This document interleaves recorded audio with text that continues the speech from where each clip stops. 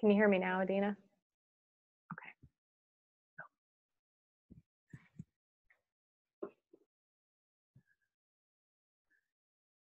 Well, it's 11:03.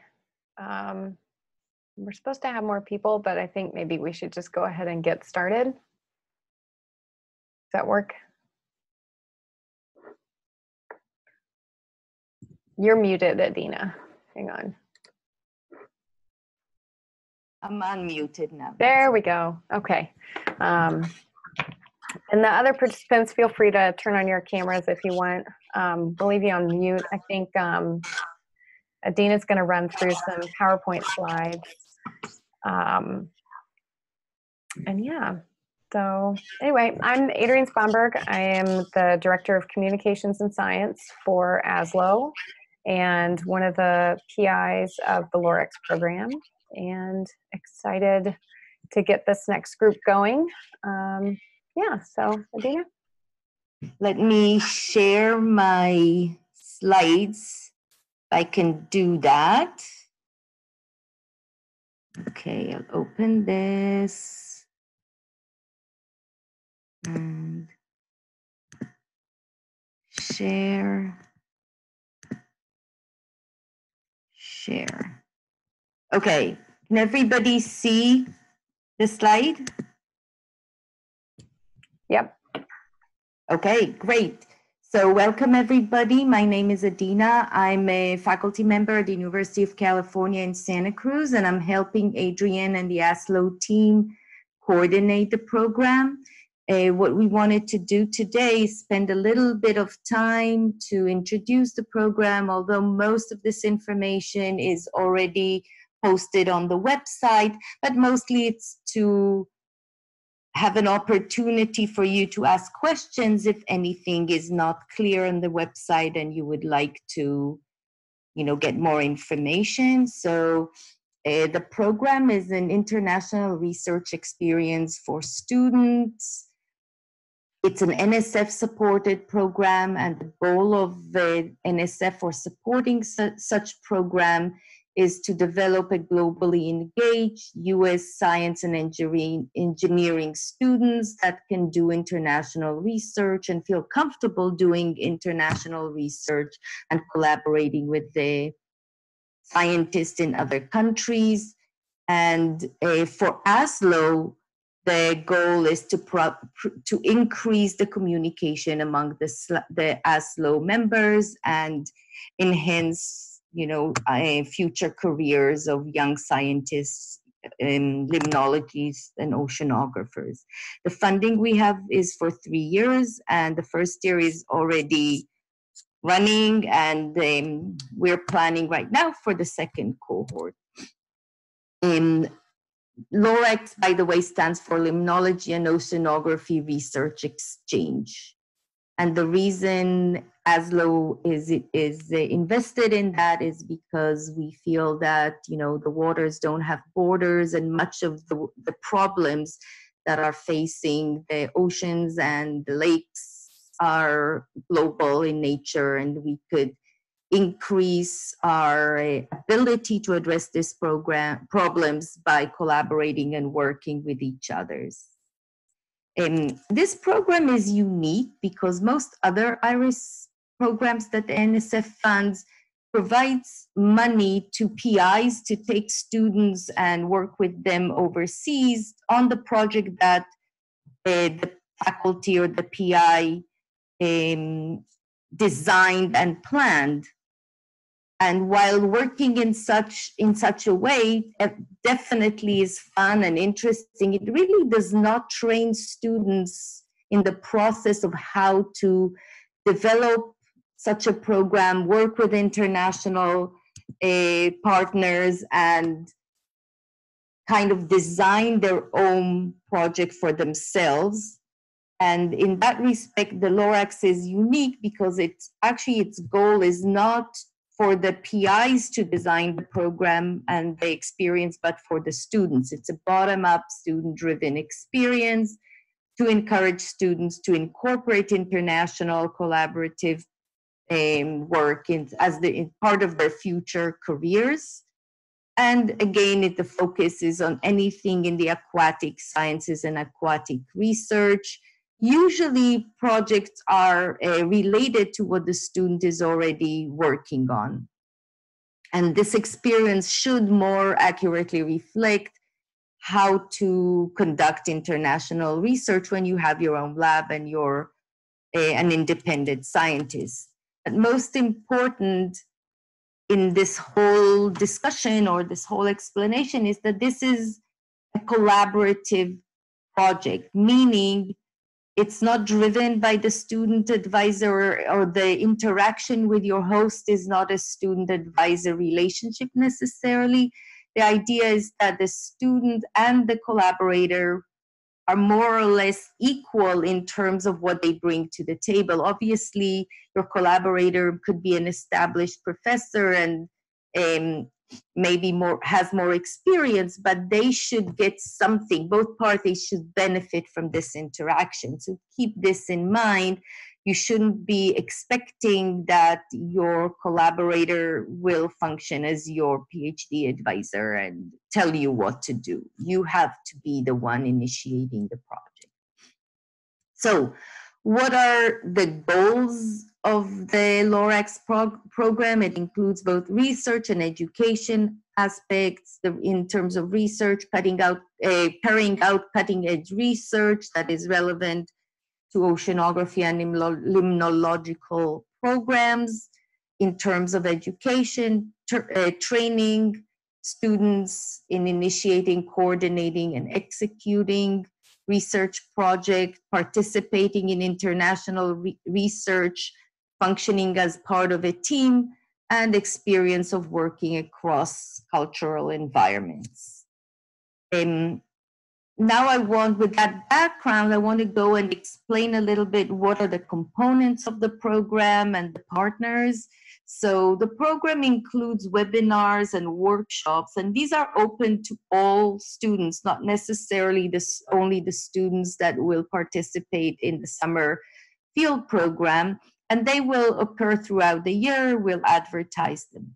In addition, a smaller group of students will be recruited to actually um, or selected to actually participate in the field exchange and to conduct research for between four and eight weeks over the summer. And there is a typo here. Oh, no, it's not a typo. The recruitment will happen in summer 2019. Then we'll have a training workshops and other preparations between now with a major event happening in February at the a ocean science meeting in San Diego. I wrote an ASLO meeting, so each year it will be either ocean science or aquatic sciences meetings. And, and then in the spring and summer, the students will work with their collaborators to prepare for the research. There'll be some more webinars and it culminates with the international research experience for this cohort over the summer of 2020. And then we will still have post experience reflection, dissemination, sharing uh, of your experience. And uh, again, much of the sharing will happen in the next February, where you interact with the new cohort of students, and that will be in 2021. So it's a full year of experience. Um, in terms of eligibility for the program, because the, the money that supports the students comes from the National Science Foundation, it is um, only US citizens that are uh, studying in a US um, institution can be supported by the program in terms of the component that includes the summer research um, you need to get a permission from your advisor because we do not want to interrupt your uh, learning and education experience. You also need a letter from your collaborator that agrees to work with you in that respect. And both letters will be uploaded with the application to the ASLO webpage. Another requirement is that any person that is part of the program will be an ASLO member. And uh, membership is only $15. It's a good idea to be a member regardless. And finally, once you're admitted to the program, you have to participate in all of the scheduled activities of the program. Um, the selection is based on a competitive proposal, and the evaluation of the proposal is based on intellectual merit, feasibility of your research, and that is really a collaborative project. So the role that your collaborators are uh, playing in this collaboration, the benefit to the students. So if it, how closely is it really contributing to your pro- professional development? And uh, there's also diversity and equity considerations that will be taken into account. In terms of the application, it will be online. It, the application is already open and it will be closed on July 31st. And you'll each uh, applicant will have to put a proposal in which will include a cover page listing the title, name, institutes, and so on, an abstract summarize and five keywords that are summarizing the research idea, and then the pro the project description, which is limited to five pages.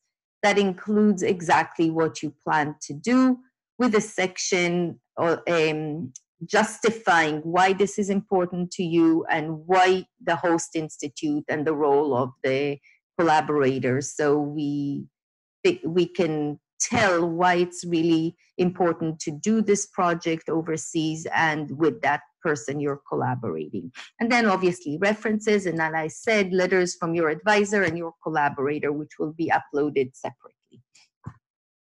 Timeline as I said, the application is open until July 21st. Today we have an information webinar um, which will be recorded and posted on the web and hopefully other people will have the opportunity to listen to it.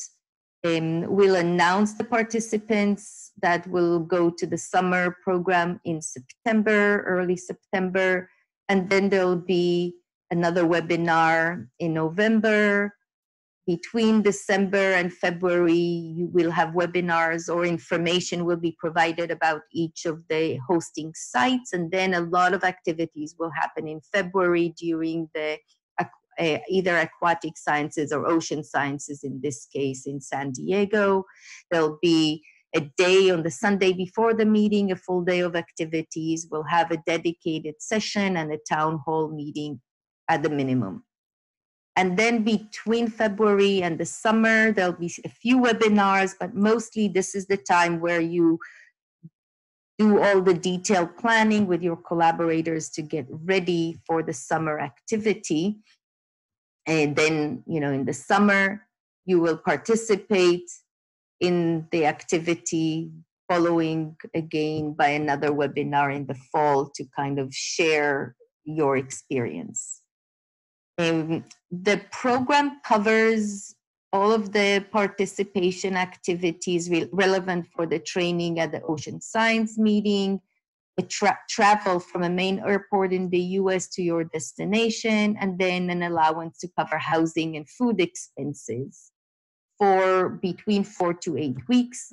You could stay longer, but we have money to only cover up to eight weeks, although some of the programs may have additional funds to extend this stay. I want to emphasize that just to make it clear that we don't have money and it's beyond the scope of this program to actually fund the research expenses themselves, any materials, supplies, analysis, permits, shipping, and so on. So this is something that you should discuss with your advisor and your collaborator to see how to actually fund the program.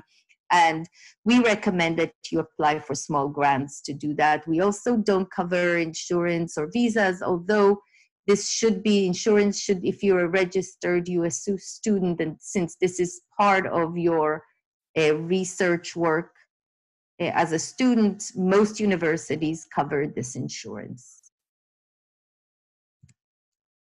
Expectations is that you participate in all scheduled activities, present a poster or talk at your host institute, participate in formal evaluation of the program, which we will have, which means before you go on the summer activity, during and after you come back, you may be asked to fill questionnaires and contribute to the blog, website, social media, and reflection activities, and then participate in the next ASLO sessions, um, in the next either ocean science or aquatic science activities in February, and help the new cohort for next year as needed. But mostly, we really want you to be safe and respectful to your hosts and collaborators because this is the key for a mutual, productive, and beneficial interaction.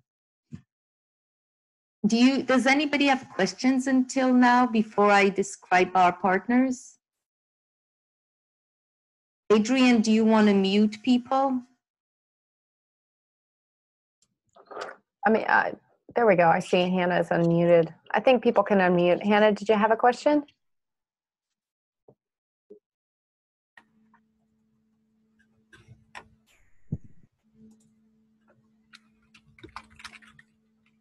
I don't hear her. So I don't, I don't hear anything either. Hang on. See if the chat's working. Oh, now she's remuted. Okay. Okay. Okay. So we have partners from nine countries and uh, from four countries and nine different programs within these countries that span a broad spectrum of marine and freshwater sciences and offer a diversity of research opportunities. There's three programs in Australia at Southern Cross University, two programs in Canada, one more oceanography and the other limnology focused. There's two programs in Israel, one in the Mediterranean and one in the Red Sea. And there's two programs in Sweden, one in the main campus at Umeå, Umeå and one at Abisko, uh, where the Abisko research station again is more limnologically focused, and both are uh, relevant to climate research impacts. As you can see, they're spread all over the world and cover pretty much any amongst or overall cover every, any area in the aquatic sciences that we can imagine. So quickly going over um, all of the partners, although all of this information is present on the ASLO LOREX webpage. So the Department of Oceanography at Dalhousie University in Halifax. It's a very big and well-known uh, oceanographic department covering biological, chemical, geological, and physical oceanography. And the GRIL uh, group is in Montreal, although it's a consortium of different universities, and they have access to um, the uh, lake systems do a lot of lake and a large river delta programs. Again, more information could be found on the web about the GRIL program. And then the, in uh, Australia, we have three institutes that are um, affiliated with Southern Cross University. One is at Coff Harbour in New South Wales, and that program is uh, focused on coastal research and mostly on impacts uh, that address marine resilience and ecosystem resources. The, the program at Lismore uh, focuses on coral reefs, whales, and marine uh, chemistry, pollutions, and fisheries. And another program at Lismore is uh, focused on global change issues, nutrient eutrophication, greenhouse gases, hypoxia, and so on. The programs in Sweden are affiliated with Umeå University. There's people that can do their work on the main campus in Umeå, but there's also the opportunity to conduct research at the field station in Abisko, where there's, as you can see in the image on the right, a lot of lakes and a lot of um, lakes observing and lakes monitoring. So this looks at Arctic or polar systems with a lot of freshwater um, programs. In Israel, there's two programs. One is in the Mediterranean, in Haifa, and this uh, Charney School of Marine Sciences has some unique programs, including some um, archaeology and civilization, so submarine archaeology, as well as um, a very, very a new department in marine technologies, focus on geosciences, but also marine biology. And finally, there is a program in the Red Sea where uh, the station, field station, is affiliated with lots of universities in Israel, but the focus is on oligotrophic systems and particularly corals and coral reefs. So, um, what do you do to start? You have to think of a research idea and how, and it should be a feasible research idea. Discuss this with your advisor. Find a collaborator in one of these institutes I would suggest putting together a short white paper and an email to introduce this collaborator and check if they're interested and then work together on writing a proposal. And there's a YouTube video that Adrienne and Brian Palermo uh, prepared. A link is over here and will be posted on the LOREX webpage that um, discusses and gives more information about initiating collaborations. And with that, I'm happy to answer additional questions. So I'll unmute you, Hannah, and you can let me know if you have more questions.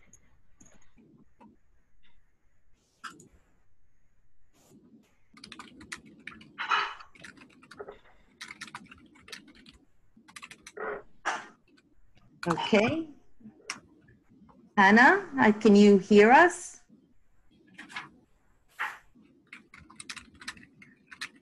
Not hearing it. Adrienne, do you, do I you want to add anything? Um, um, no, I, I don't have, I don't know. I'm, I'm curious if anyone has any questions. I think you covered everything pretty well.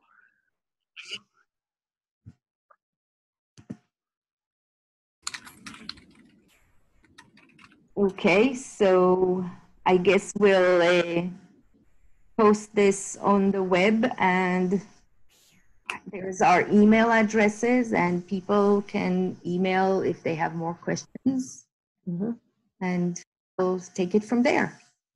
Okay, great. Thank you. Thank you. Bye. Bye.